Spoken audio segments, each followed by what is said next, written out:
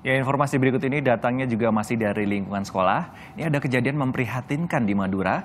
Sabtu pagi, atap tiga ruang kelas SMP Negeri 1 Sampang ambruk. Ya, akibatnya belasan siswa terluka tertimpa reruntuhan.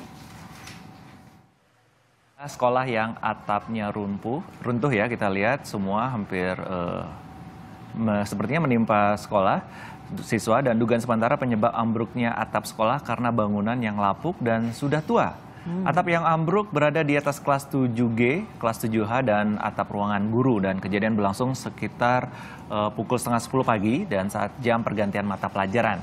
Puluhan siswa pun tidak bisa menghindarkan dari terpan runtuhan atap ya. Ya. 14 siswa, satu guru dan kepala sekolah langsung dilarikan ke rumah sakit. Sebagian besar korban menderita bengkak memar dan beberapa lainnya mengalami luka. Hingga Sabtu sore ada empat siswa yang harus dirawat inap karena cedera kepala. Sebelumnya rencana perbaikan sekolah akan dilaksanakan pada tahun 2015. Namun belum sempat diperbaiki, sekolah telah lebih dulu ambruk. Oke.